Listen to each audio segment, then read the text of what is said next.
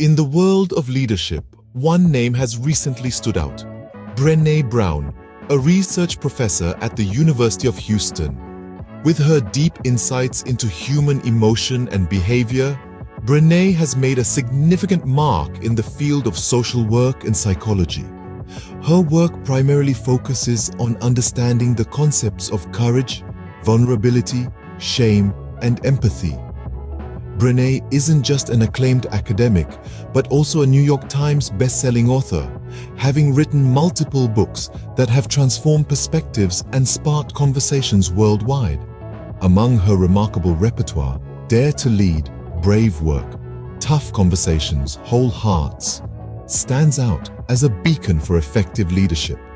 This book isn't just about leading, it's about leading with vulnerability and courage, about having those tough conversations and showing up with your whole heart. So, if you're ready to delve into the heart of leadership and courage, let's embark on this journey together.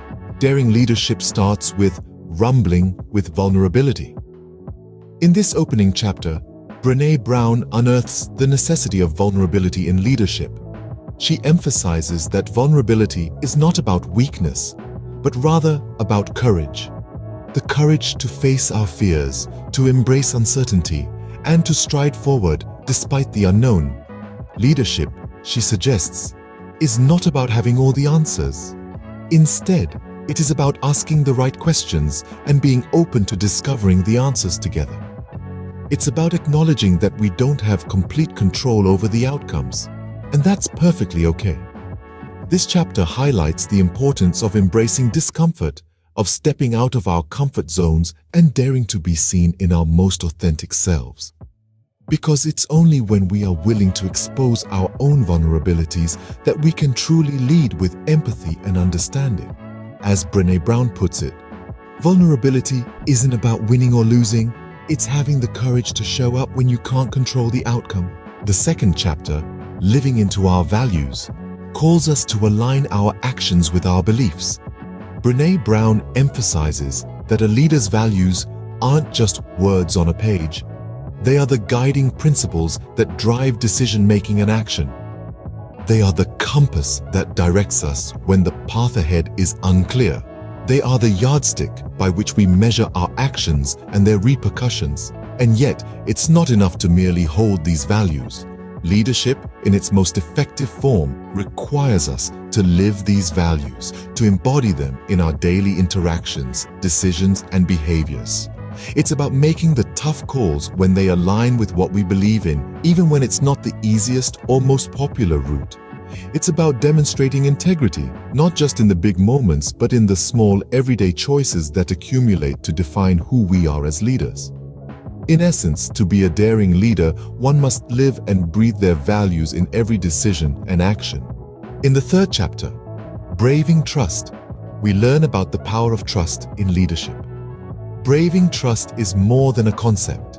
It's a practice, a daily habit that we cultivate. Brené Brown emphasizes that trust isn't something that is given freely. It's earned.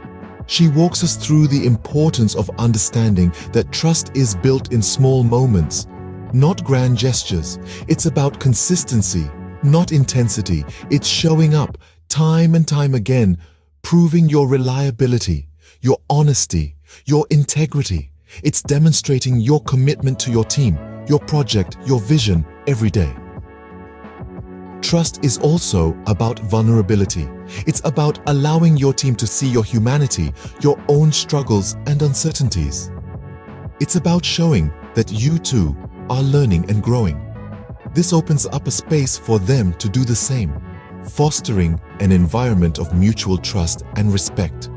Trust then is not a luxury, but a necessity for daring leadership. The final chapter, Learning to Rise, teaches us about resilience in the face of adversity. Brené Brown emphasizes that failure is not the end, but rather a stepping stone in the journey of leadership. It's about dusting off the dirt and learning to rise again, stronger and more determined. Brown tells us that leaders are not those who never fail, but those who refuse to give up when they do. She explains that resilience is not a trait that we have or don't have, It involves behaviors, thoughts, and actions that can be learned and developed in anyone. In a world where we're often judged by our successes, Brown encourages us to embrace our failures as they are the key to building resilience. She reminds us that falling is part of the journey, and it's the courage to rise after a fall that truly defines our leadership. After all, in the words of Brené Brown, we can't rise if we're not willing to fall. Brené Brown's Dare to Lead is a gold mine of insights on daring leadership let's take a stroll down memory lane and revisit the pivotal points from each chapter.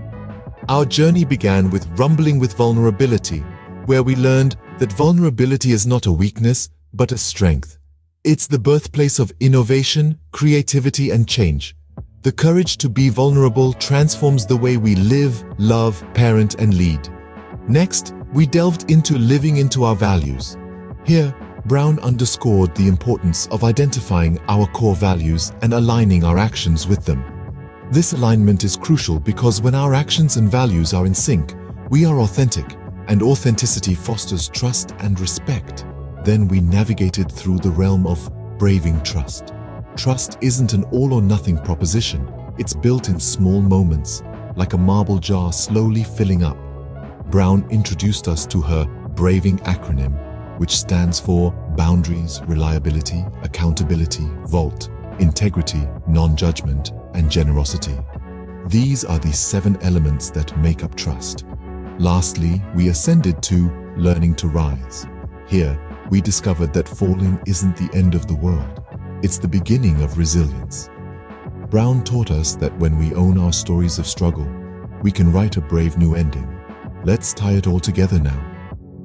Brené Brown's Dare to Lead illustrates that effective leadership requires the courage to be vulnerable, the authenticity to live according to our values, the wisdom to build trust, and the resilience to rise again and again. These aren't just leadership skills, they're life skills. They're the building blocks of daring leadership, empowering us to step into the arena and lead with whole hearts. So, dare to lead, be brave, be vulnerable, trust, and always, always rise.